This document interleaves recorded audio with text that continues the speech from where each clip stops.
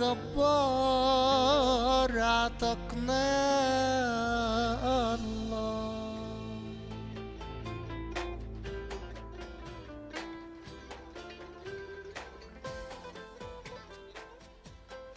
وصلنا معاكم مشاهدينا لفقرة الخير اليومية برعاية مؤسسة سقيا الماء ضفنا الشيخ أحمد علوان من علماء الأزهر الشريف وهنكمل كلامنا عن الفرق بين قول الله تعالى وسارعوا إلى مغفرة من ربكم وسابقوا إلى مغفرة من ربكم ليه ربنا قال لنا كده مرة وكده مرة؟ خلونا الأول نرحب بضيفنا أهلا بيك يا شيخ يا مرحبا يا سيدة الله يبارك فيك. كل عام وحضرتك بخير. وحضرتك طيب ربنا ربنا يعيننا في يكرمك رمضان على الصيام. يا رب. ويعيننا على الحلقات. يا رب. كله بقى في في ميزاننا إن شاء الله. الحمد لله. ربنا يتقبل يا رب. يا رب. إحنا طبعا بنتكلم على الطريق للجنة السلسلة نعم. بتاعتنا في رمضان. وإحنا عايزين نعرف إنه سبحان الله ربنا سبحانه وتعالى في آية قال وسابقوا وفي آية قال وسارعوا بالعكس قال وسارعوا وسارعوا وسابقوا وسابقوا آه لأن دي فيها واو والتانية ما فيهاش واو. أيوة. دي برضه لها لها مغزى. يعني. آه، بسم الله الرحمن الرحيم.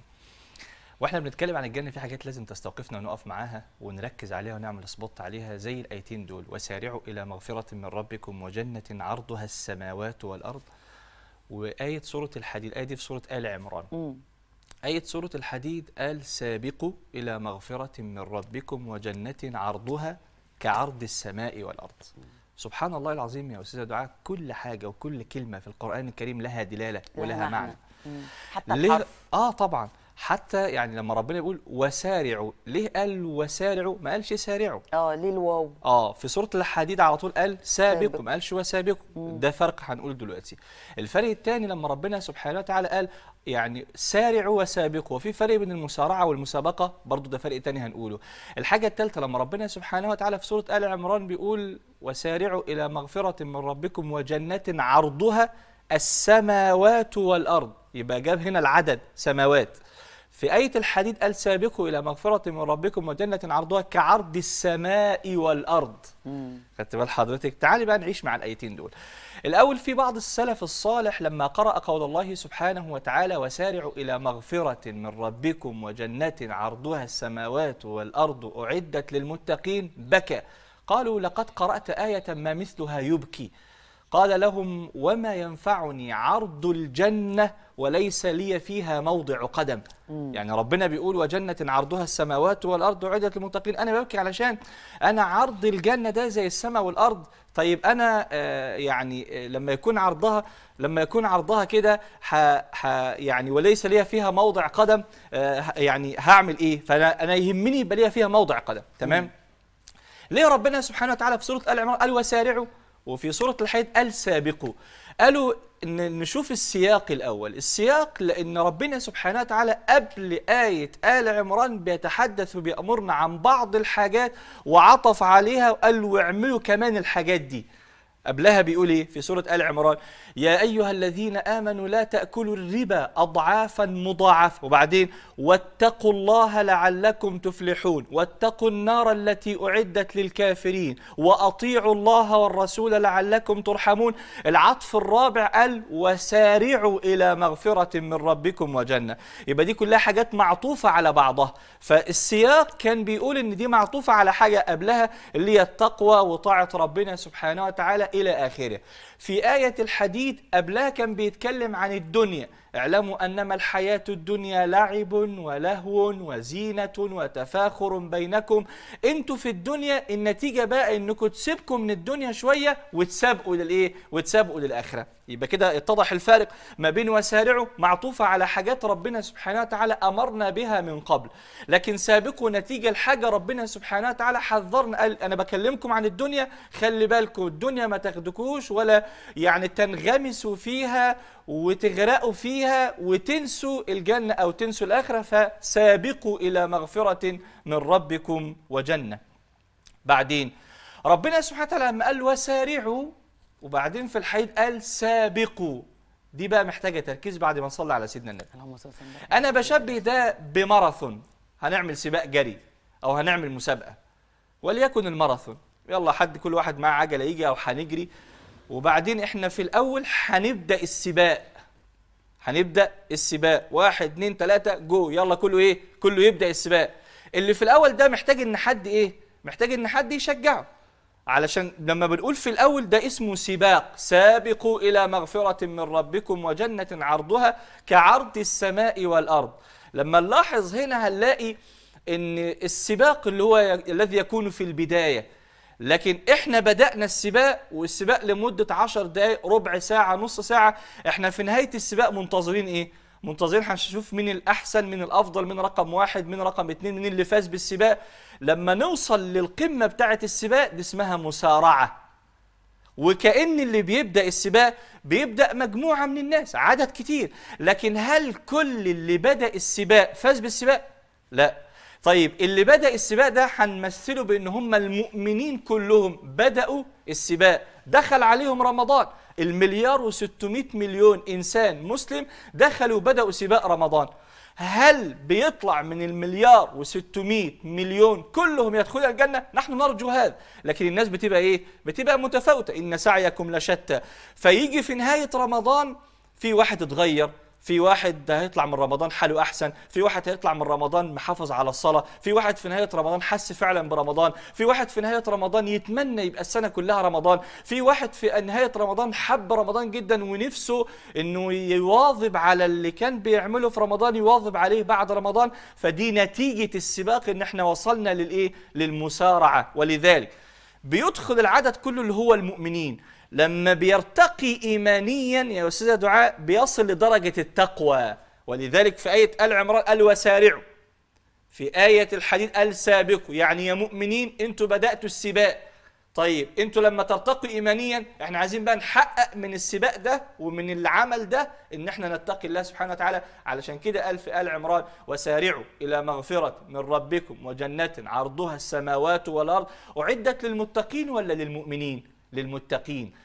ليه؟ لأن إحنا خلاص إحنا ارتقينا وعلينا إيمانيا فمن المطلوب إن إحنا إيه؟ نسارع ونسابق علشان نبقى أفضل. ليه ربنا في آية الحديد قال سابقوا إلى مغفرة من ربكم وجنة عرضها كعرض السماء والأرض. قالوا السماء ديت اسم جنس يعني إيه؟ يعني تشمل السماء كلها. لما أقول مثلا أنا عندي أرض يبقى الأرض بتاعتي كلها. لكن لما أقول أنا قسمت الأرض بتاعتي إلى قراريط أو إلى مساحات معينة يبقى أنا يعني الحاجة الكبيرة دي أنا قسمتها. لما ربنا سبحانه وتعالى جه في سورة آل عمران قال وجنة عرضها السماوات. ما قالش السماء ليه برضه؟ لأن لما كنا بادئين السباق كلنا ذكر السماء كلها. لكن إحنا عاوزين نطلع بحاجة من رمضان فقال المتقين وبرضه حدد وقال سماوات اللي هو عدد أقل من إيه؟ من سماء. طيب سابقوا لما كنا في بداية السباق في تشجيع. يعني مثلا إيه؟ تلاقي مثلا لو واحد مثلا ليه مدرب ولا حد بيحفزه ويشجعه يلا قبل السباق يلا شد حيلك. هو دخل السباق خلاص. فربنا سبحانه وتعالى في آية السباق في الحديد قال في تشجيع بقى. ذلك فضل الله يؤتي في آخر الآية ذلك فضل الله يؤتيه من يشاء والله ذو الفضل العظيم. لكن في آية آل عمران لما قال إن المصارعة دي للمتقين والناس اللي هي علت إيمانيتها في رمضان أو بشكل عام فقال لهم أنتوا لكم الجنة. خلاص أنتوا إيه يعني اللي هو اللي دخل السباق وطلع الأول بياخد الجائزه بتاعته الثاني بياخد الجائزه كل واحد على حسب ترتيبه. المتقي ده بياخد جزاؤه الايه الجنة. ولذلك ربنا سبحانه وتعالى بعد ما تحدث عن هؤلاء المتقين وسارعوا إلى مغفرة من ربكم وجنة عرضها السماوات والأرض أعدت للمتقين وبدأ يعدد صفاتهم بقى. الذين ينفقون في السراء والضراء والكاظمين الغيظ والعافين عن الناس والله يحب المحسنين والذين إذا فعلوا فاحشة أو ظلموا أنفسهم ذكروا الله فاستغفروا لذنوبهم ومن يغفر الذنوب إلا الله ولم يصروا على ما فعلوا وهم يعلمون جزاؤهم إيه؟ أولئك جزاؤهم مغفرة من ربهم وجنات هي بقى ده الهدف اللي إحنا عايزين نوصل له المغفرة والجنة يعني إحنا صحيح. هدفنا الجنة والمغفرة هي اللي بتوصلنا طبعا إلى الجنة. آه للجنة نعم. ربنا يكتبها لنا جميعا يا رب اللهم يا رب. آمين ودي. فرصة كبيرة جدا في رمضان يعني شوف سبحان الله لما النبي عليه الصلاة والسلام يقول إذا جاء رمضان فتحت أبواب الجنة يعني دلوقتي اللي بيشوفنا له أن يتخيل إن أبواب الجنة مفتوحة يعني سهل جدا تدخل منها ولذلك النبي عليه الصلاة والسلام حذر ممن يدخل عليه رمضان ولا يغتنم فرصة رمضان. النبي صلى الله عليه وسلم قال رغم أنف رجل أدرك رمضان فمات فلم يغفر له فدخل النار. قولوا قل آمين فقلت لما جه سيدنا جبريل عليه السلام بيدعي وبيطلب من سيدنا النبي أن يؤمن على دعائه. رغم أنف رجل كناية عن الذل وكنايه عن الفقر وكنايه عن الخسران إنك فعلا خسرت. رغم أنف رجل أدرك رمضان فمات فلم يغفر له اللي يجي له رمضان وما يطلعش منه إن ربنا يغفر له ذنوبه وإن ربنا يعتق رقبته من النار وإنه يرتقي ايمانيا وإنه يصعد آه، يعني روحانيا يبقى ده كما قال النبي صلى الله عليه وسلم فمات فلم يغفر له فدخل النار. ده دعاء مين؟ جبريل. جبريل بيقول لسيدنا النبي قل آمين. يقول النبي صلى الله عليه وسلم فقلت آمين. فمكسب كبير قوي قوي إن رمضان فرصة إنك تحافظ على الفجر ما أنت كده كده بتصحى تتسحر. إنك آه، هتنام لك شوية بعد الفجر ولا حاجة قوم اقرأ الورد بتاعك. ودايما بقول أو زي ما بيقولوا الحاجة أم الاختراع. يعني لو عاوز أعمل حاجة هعملها. يعني اذا كانوا دلوقتي قالوا لنا إحنا هنصلي التراويح نص ساعة. طب نص ساعة دي مش حاجة. أنت عندك اليوم بقية الليل سبع ثمان ساعات بتعمل فيهم إيه؟ هتروح تاكل القطايف فخلاص القطايف خلصت. وبعدين هتاكل كنافة كل اللي أنت عاوزه. هتاكل في نص ساعة كل في كل في ساعة. بقية الليل عندك أربع خمس ساعات هتعمل فيهم إيه؟ فأنت يعني دايما حتى بقول للناس في المسجد أنت خلصت قيام الليل في المسجد أو التراويح في المسجد هو خلص في المسجد بس ما خلصش في الليل. لما ترجع صلي مع زوجتك صلي مع أولادك صلي مع نفسك. انت عندك الليل طويل فلا تحرم نفسك هذا الأجر. وما ننساش حديث النبي عليه الصلاة والسلام من قام رمضان إيمانا واحتسابا غفر له ما تقدم من ذنبه يعني رمضان فرصة لازم نغتنمها في كل أوجه الخير اللي نقدر إن إحنا نعملها ما نسيبش أي وجه خير صحيح. في رمضان. نعم. عشان نوصل لهدفنا اللي بنتكلم الجنة عليه شاء الجنة الله. يا رب يا ربنا رب، يا رب. يجمعنا في الفردوس الأعلى جميعا يا رب. آمين. اللهم كل آبائنا وأمهاتنا. يا رب اللهم آمين. نشوف أول تقرير خير. تمام. قافلة الخير آه، في آه، إنا آه، لمؤسسة سقيا الماء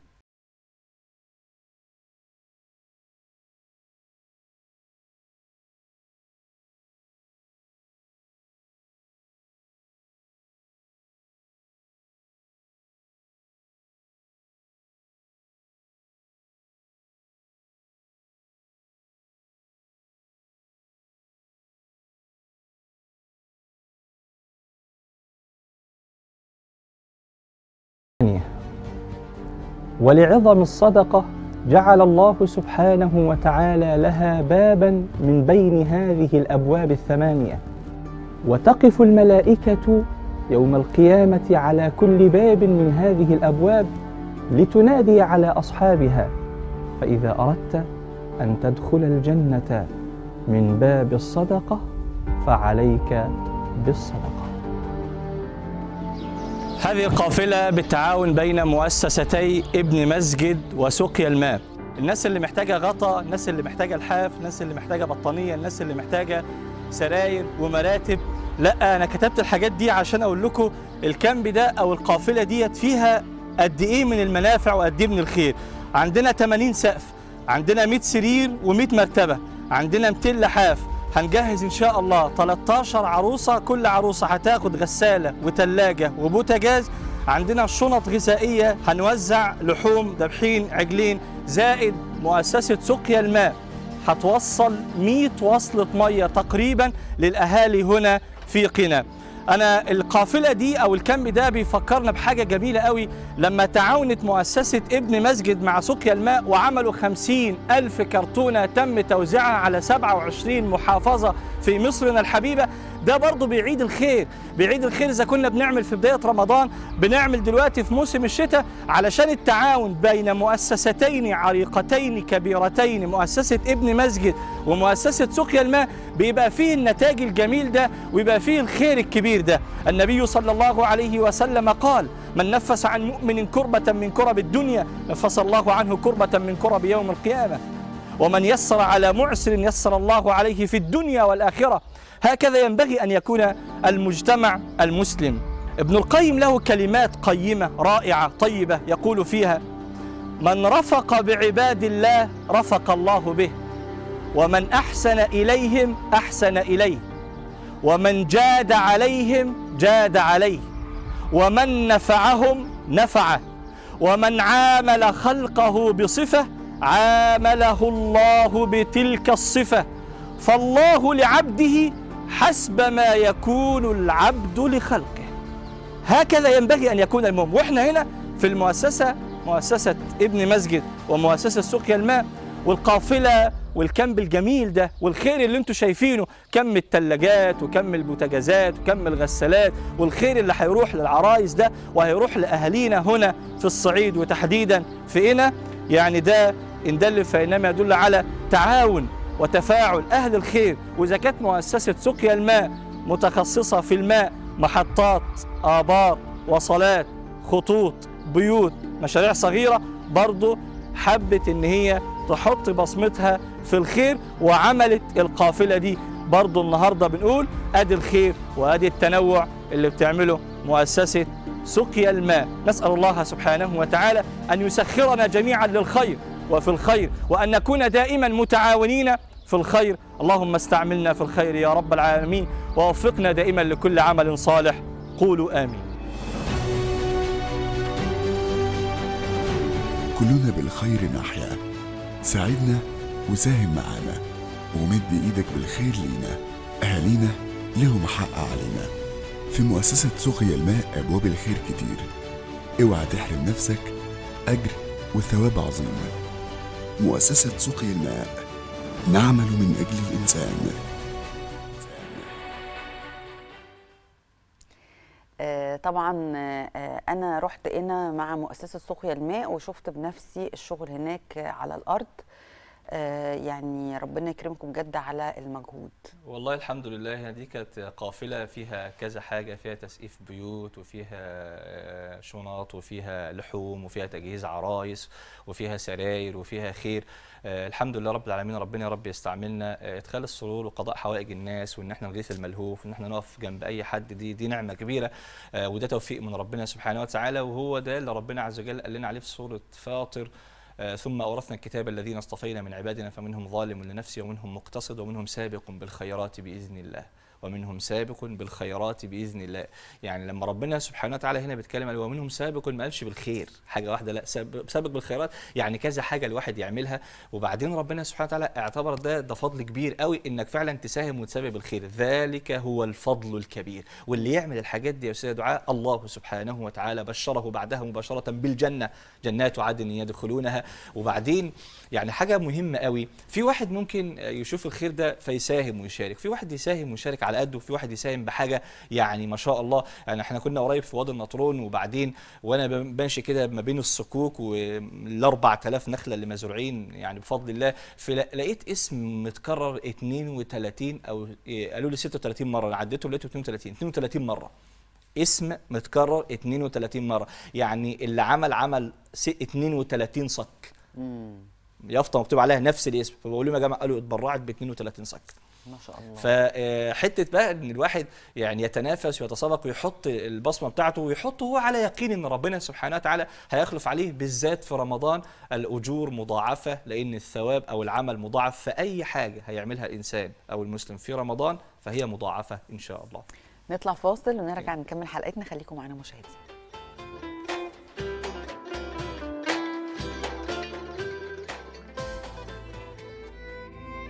رمضان يا شهر العبادة طاعتنا سر السعادة.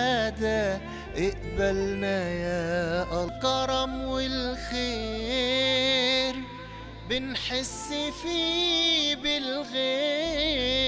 اكرمنا يا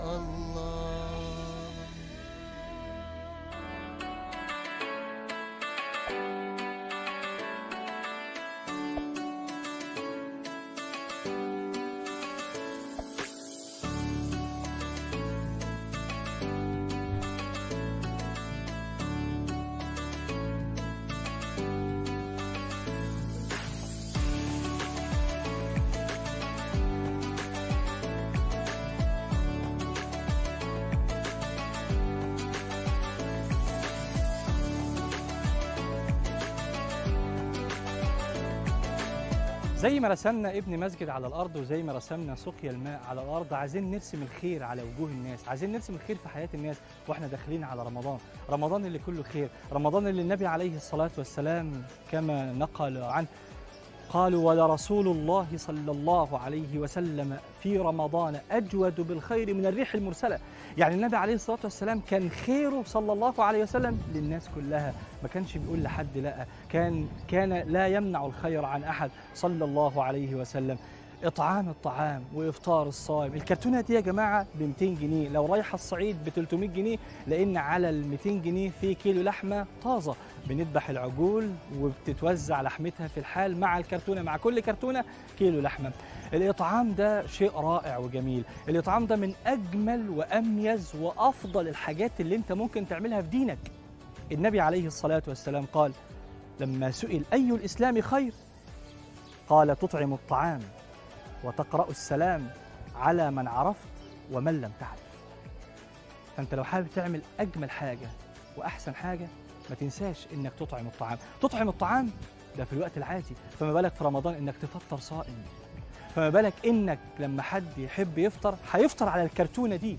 النبي عليه الصلاة والسلام قال من فطر صائما فله مثل أجره غير أنه لا ينقص من أجر الصائم شيئا. أقول لك على عرض رائع بقى. ده عرض رمضاني مع مؤسسة سقيا الماء وابن مسجد لأن هم لما بيحطوا إيدهم في إيد بعض بيعملوا خير بيعملوا الفرحة الكبيرة اللي أنتم شايفينها. اللي أنتم متعودين منها متعودين عليها من المؤسسة على على ده كل سنة. توزع حوالي خمسين ألف كرتونة في بداية شهر رمضان على أهالينا وعلى وعلى حبايبنا وعلى الناس في شتى محافظات مصرنا الحبيبة. لو أنت حابب إنك تقول يا جماعة هو أنا ينفع أحط زكاة مالي في الكراتين دي؟ نقول لك آه كما أفتت بذلك دار الإفتاء المصرية وعلى هذا جماهير العلماء أنه ما دامت هذه الكراتين تذهب للفقراء والمساكين. خلاص. وفعلا ديت رايحة للفقراء والمساكين والأرامل والأيتام والمحتاجين اللي إحنا مكلفين إن إحنا نسعى إليهم ونسعدهم.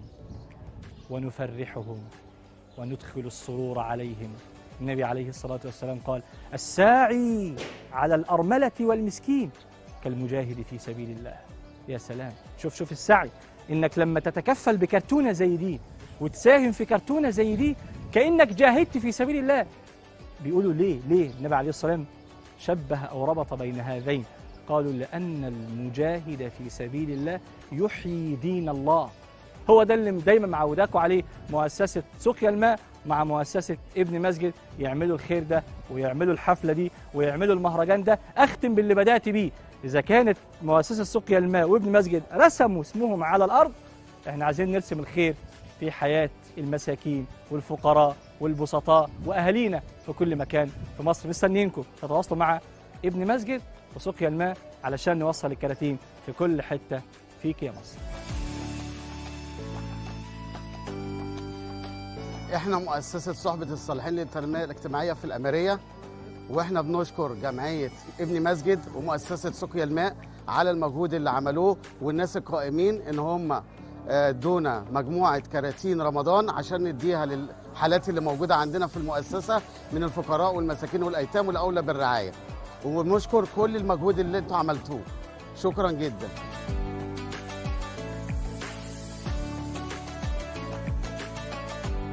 جينا النهارده مؤسسة ابن مسجد سوق الماء آه، جمعية الخير فينا من اوسيم استلمنا النهارده الكراتين آه، من سوق الماء وابن مسجد. آه، دعم للحالات عندنا وبنشكر سوق الماء وابن مسجد.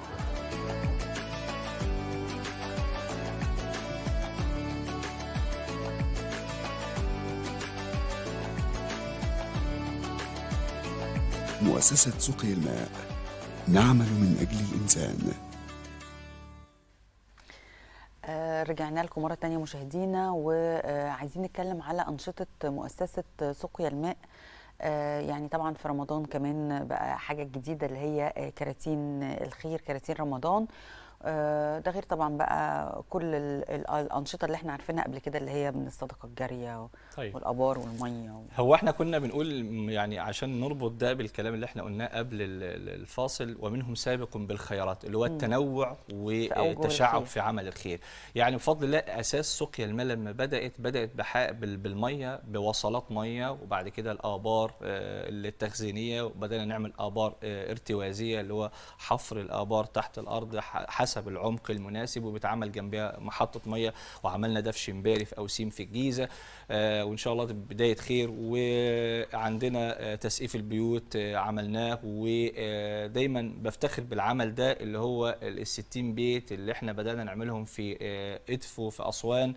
لما رحنا عشان نوصل وصلات مية لقينا الناس قاعدة في عشش فالعشش ما تنفعش. لأ مش محتاجين مية. قبل المية محتاجين بيوت فقررنا إن إحنا نبدأ ب 10 بيوت وفعلا عملنا إزالة وبنينا البيوت وسلمناها لأهاليها آه، ولأصحابها ووصلنا لهم المية.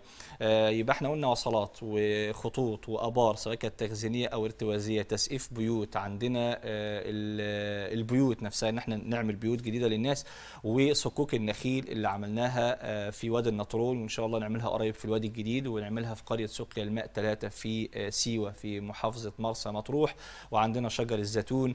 وآخر حاجة إحنا شغالين عليها دلوقتي بمناسبة رمضان 30 رمضان إحنا الحمد لله رب العالمين فرغنا من ما يقرب من 30 ألف كرتونة وبنستهدف إن إحنا نوصلهم 50 ألف زي ما عملنا السنة اللي فاتت 50 ألف ونأمل كمان إن إحنا بدل 50 نعمل 100 ليه؟ لأن آه، الناس محتاجة يا أستاذ دعاء ومحتاجة إن حد يعني يوفر لها ال- الأساسيات بتاعة الحياة. إذا كان في مية خلاص فإحنا عايزين آه، الوجبات والإفطار وإفطار الصائم. يبقى عنده كرتونة ما ينعش آه، هم ثلاث أربع خمس أيام جايين خلاص عارف إن أنا عندي الرز بتاعي عندي المكرونة عندي لوبيا عندي فاصوليا عندي عدس عندي سكر عندي شاي. فدي كرتونة آه، فيها ما يقرب من 13 صنف بتوفرها مؤسسة سقيا الماء في شتى محافظات مصر بفضل الله. ولو الكرتونة رايحة الصعيد فمع الكرتونة بيتم ذبح عجل بقر أو جاموس وبيتم توزيع مع كل كرتونة كيلو لحمة ربنا يكرمكم. ويتقبل منكم. ونشوف آه، آخر تقرير خير في حلقتنا النهارده ونرجع نعلق عليه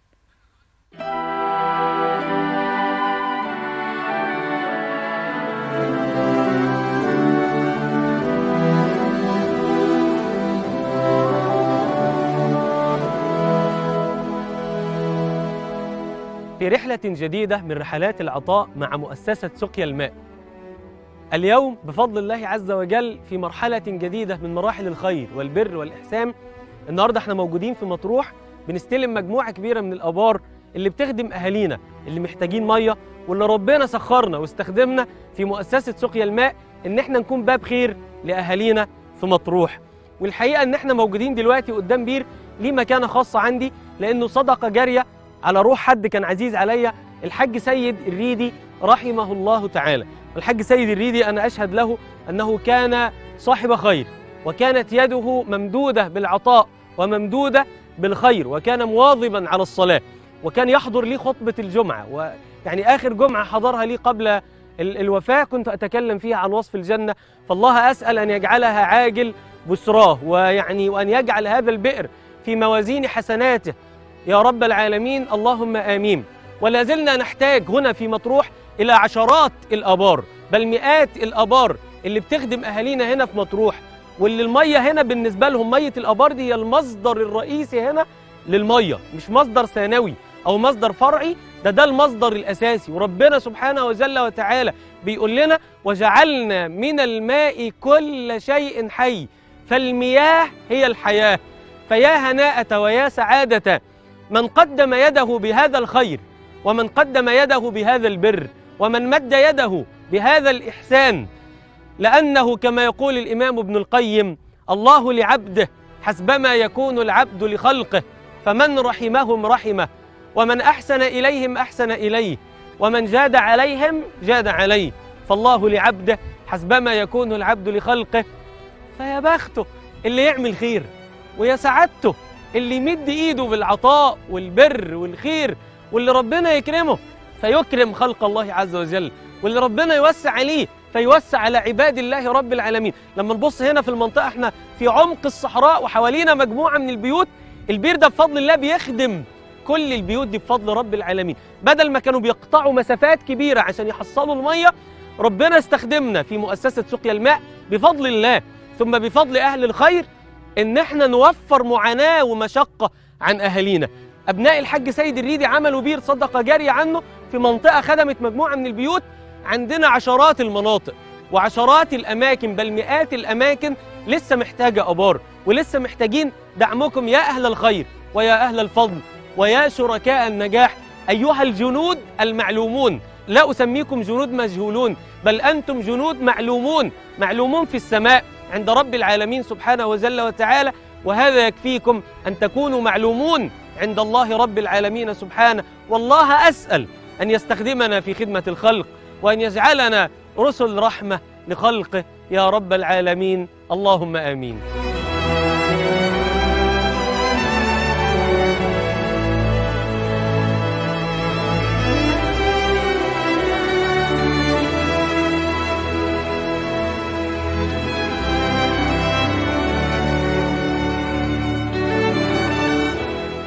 مؤسسة سقي الماء نعمل من أجل الإنسان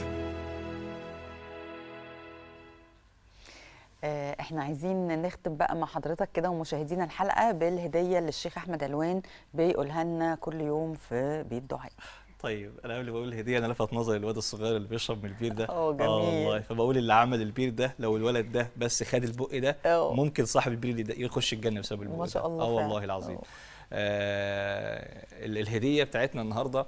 عاوز أقول لو أنت عاوز سيدنا النبي صلى الله عليه وسلم يأخذ بيدك ويدخلك الجنة عليك بهذا الحديث الذي جاء عند الطبراني في المعجم. قال صلى الله عليه وسلم من قال حين يصبح رضيت بالله ربا وبالإسلام دينا وبمحمد صلى الله عليه وسلم نبيا فأنا الزعيم لآخذ بيده حتى أدخله الجنة.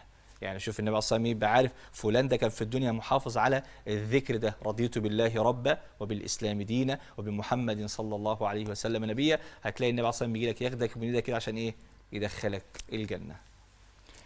يعني جميل جدا ويا رب كده نبقى نسأل الله سبحانه وتعالى أن يرزقنا. المواظبة على هذا الذكر وأن يجعلنا من الذين يتقبلهم أو يتلقاهم النبي صلى الله عليه وسلم يوم القيامة فيأخذ بأيدينا ليدخلنا الجنة آمين آمين اللهم يا آمين. رب آمين بشكر حضرتك جدا وبشكر جزيلاً. كل مشاهدينا والسلام عليكم ورحمة الله وبركاته